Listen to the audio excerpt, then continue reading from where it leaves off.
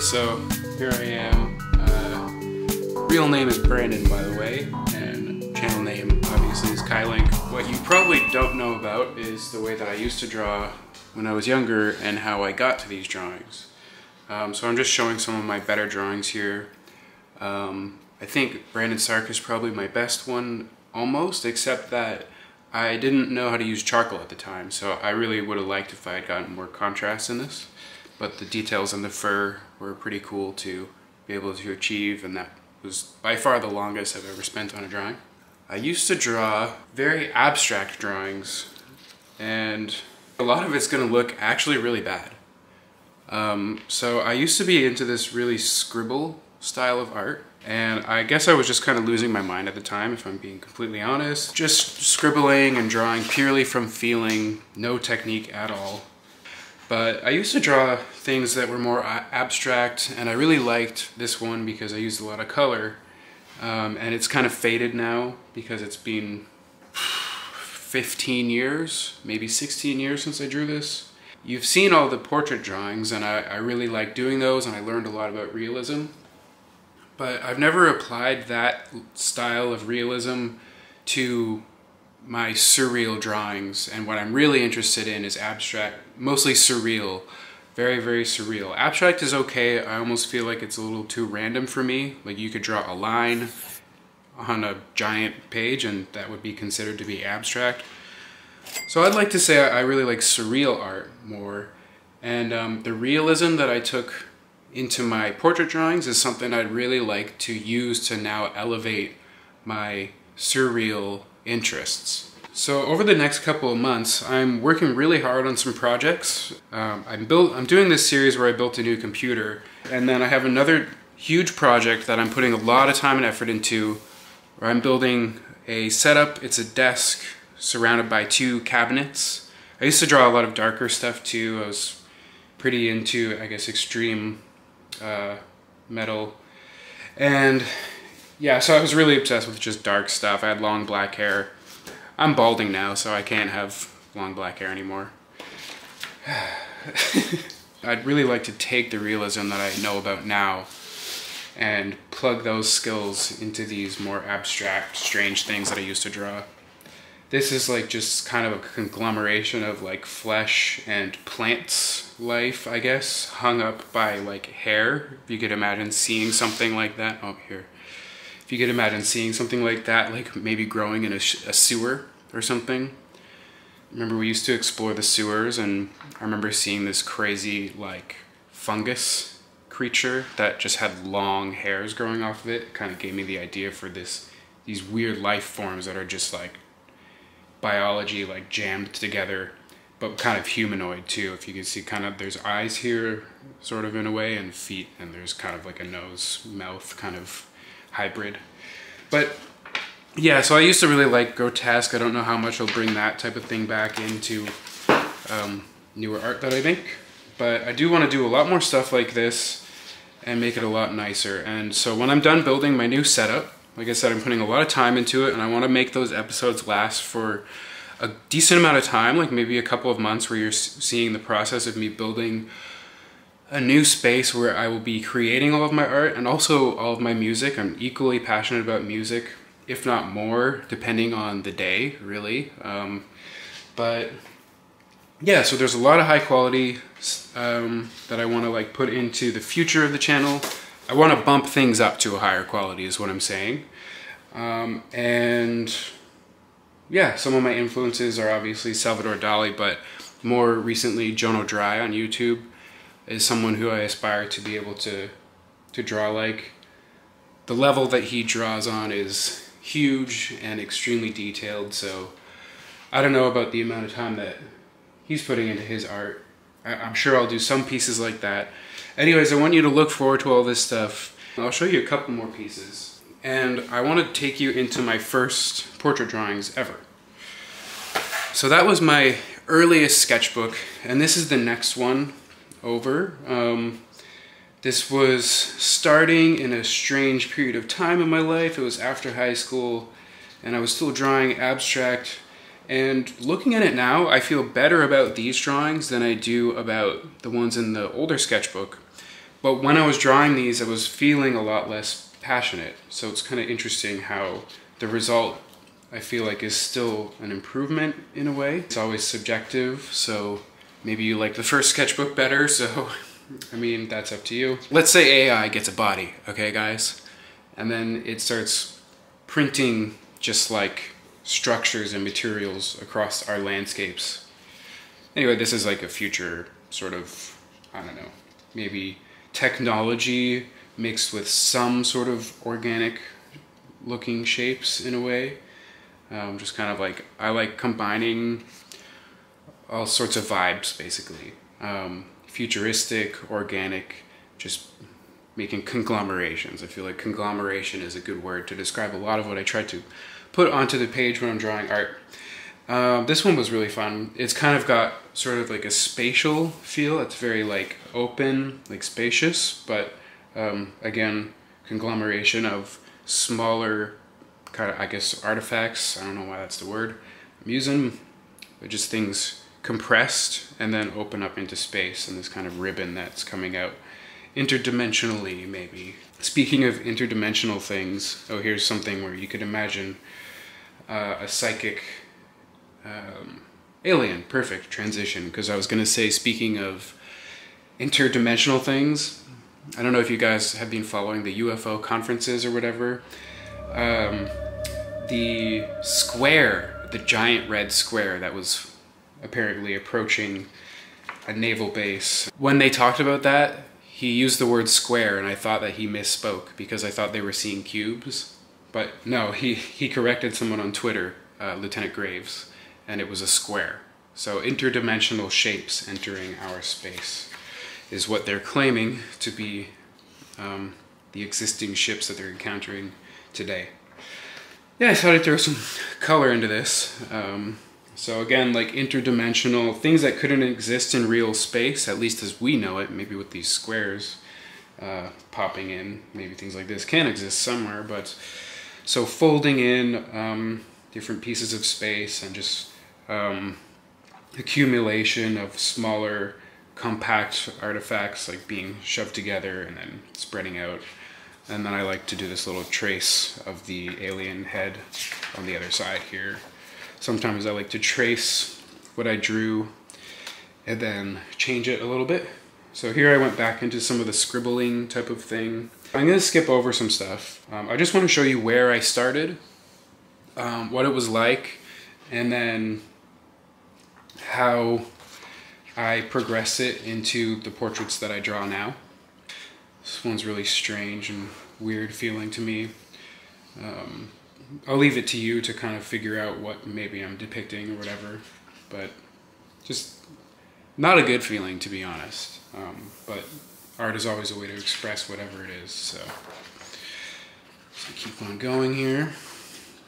I'm gonna skip as much as I can because I want to get to the portraits. So that's not one of them. This is not. I mean, you could consider this to be an early portrait, sure, but I'm not drawing looking at an image and trying to recreate it. I'm just, you know, stoned. I don't know what I was doing there really. Um,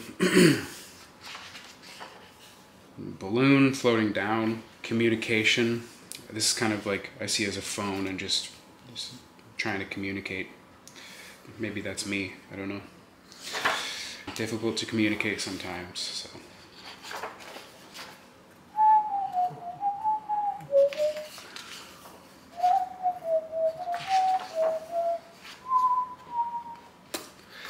Shaky whistle.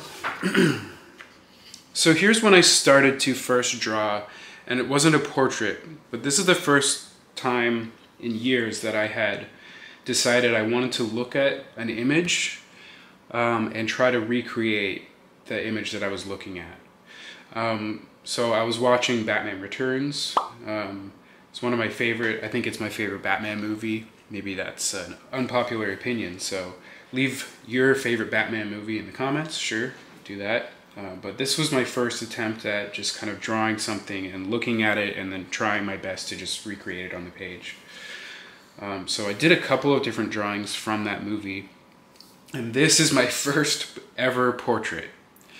Now I had just gotten into video game collecting um, which I was using as a tool to replace my addiction to getting high, uh, which I was just smoking weed. Um, and for me, that was very detrimental. I, I just get paranoid. So I know a lot of people love it. No hate on those people. Weed can be great, and I miss it. I wish I could still enjoy it, but it started to mess me up. So I started collecting retro games, and, and this guy has a retro gaming uh, YouTube channel. His name is Metal Jesus, and this is my first portrait. So make of that what you will. But as you can see, like it didn't start in the place where I ended up at all. Um, like I, I progressed over the course of about six months, I would say, to sort of this point where I was drawing without a grid and making things pretty realistic. Um, for my standard, is a big improvement on where I started. So I just wanted to put this out there because when you start drawing, you start drawing portraits or whatever you want to be drawing, you're not going to get it perfect the first try, and there's always room to improve. So even if you you feel like you just you're just like, oh man, I suck. Like people who do this have a skill and I don't have that skill. Well, you, I, I think you really can develop it. I think you can get there for sure. So just keep trying and just keep uh, discovering new techniques and watch tutorial videos. Um, and you'll pick up things that will help you over time.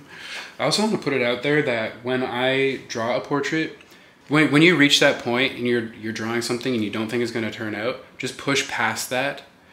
I promise you, when I draw things, even my best drawings, there's always like a long period of time, like I said, sometimes six to even 10 hours where I think it's not going to turn out. And I'm looking at it, I'm going, this is not very good. That happens even when the drawing does turn out well. So just push past, the, past those points. And then just try to apply the techniques that you learn. Um, so what's funny about this one, what's funny about this drawing is I, so this is Aquaman. and I posted this on, on uh, Instagram.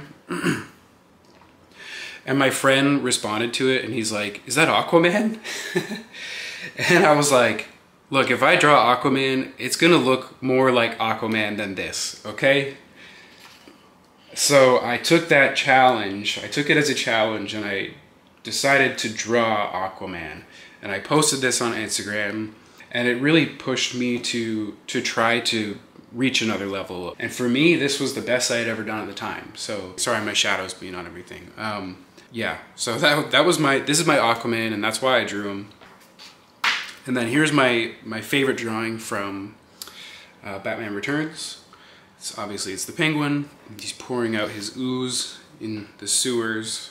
Um, and I spent a lot of time on this one. I was very, very proud of it at the time, and I still am. So uh, this is one of my favorite drawings I've made even today. I should maybe recreate this with charcoal, but I like the, the contrast that I put even with um, graphite, just pencil and then I like that it has just the one color and I like what color it is that I think that's a cool green. And I think it just captures the vibe of the film very well. It's very creepy. It's just uh, I really like this drawing. What some people will do is they will draw sort of an approximation first and then they will slowly bring the details into view um, and that's totally an acceptable way to do it too now for me, I find that when I when I draw that way, I can end up getting the proportions off. So if I approximate the size of the head and then where the nose might, the eyes might be, and then I start adding details, and then later I might find that, well, actually I kind of put like a significant portion of the face in the wrong place. So I like to just start from points that are very, very close to each other and then add those details in and then keep my reference points very close together. And then the more reference points is points that the more reference points is wow. The more reference points that you create as you're branching out, the more that you're going to have to go on when you start getting into the larger curves and details. Um, and just always be looking at where things are relative to each other like I would have been looking at where this point is and how it comes across and it's kind of somewhere almost halfway between this point and this point. but it seems to be a little bit higher than halfway. So I'd be keeping all those things in mind as I'm drawing and um, not letting any of them slide to the best of my perception. So that's how I would start drawing. But what I ended up doing eventually was I would bring in more techniques. I started to learn how to use charcoal and there's lots of great tutorials how to do that. Um, this was a really fun one. I like the way the shadow foreshadows, um, no pun intended, um, the Catwoman mask that Michelle Pfeiffer would eventually be wearing in the movie. I really like this picture. And when I watched the movie through, I paused it at different points that I thought were a good freeze frame to draw. Um, so I found this this frame in the movie, and I thought it was just a great, great one to draw. So I, maybe I should do this in greater detail later. Um, this is one of my, the drawings I did from Batman Returns are some of my favorite I've ever done. This is my cousin Devin. uh, yep, he's a gentleman, traveling the world, a legend, a huge inspiration for me. And we got Morpheus. This was another one that I was really proud of when I made it. So um, lots of shading and cool reflections in the glasses. Um, I think I've opened up to this page a, a, lot of times and it maybe is a little bit faded from how it was when I first drew it. Again, this would be another one that would be great to do in charcoal. But yeah, so in general, I just wanted to show you guys my progression, where I started, uh, and then the these are the first portraits that I drew in order. So um, now you've kind of seen where I started and you've seen where I've ended up. And I also wanted to give you that idea of where I'm going. So I hope you're looking forward to the next few series that are going to be coming out over the next couple of months. I'm putting a lot of work into editing the videos to try to just make them entertaining um, and try to improve my video editing skills. But uh, when all of that's ready, I hope you're excited for more art content and for me to sharpen my skills and apply them in different ways that we haven't seen yet.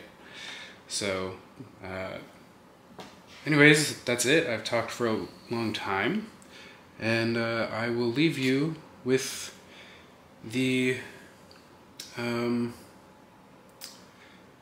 guy from Kung Pow. What's his name? Oh, that's that's so embarrassing.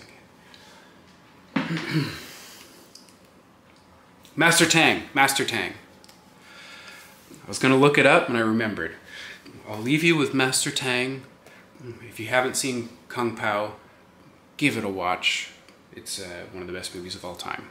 So, goodbye. Take care and take your pencil and your charcoal and your tools and give it a try and don't stop even if you're not sure how it's going to turn out. Just keep pushing.